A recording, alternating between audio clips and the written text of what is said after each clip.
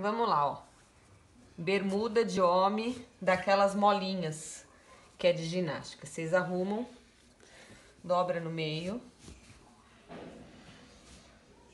Aqui, vocês põem pra dentro.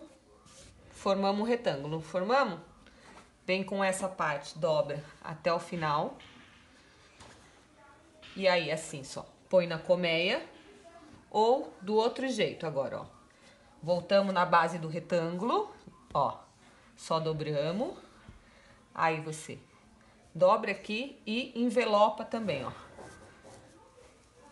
Que aí você pode pôr na gaveta uma em cima da outra, tá? Agora, se você for pôr na colmeia, a base do retângulo, você cruza e cruza de novo.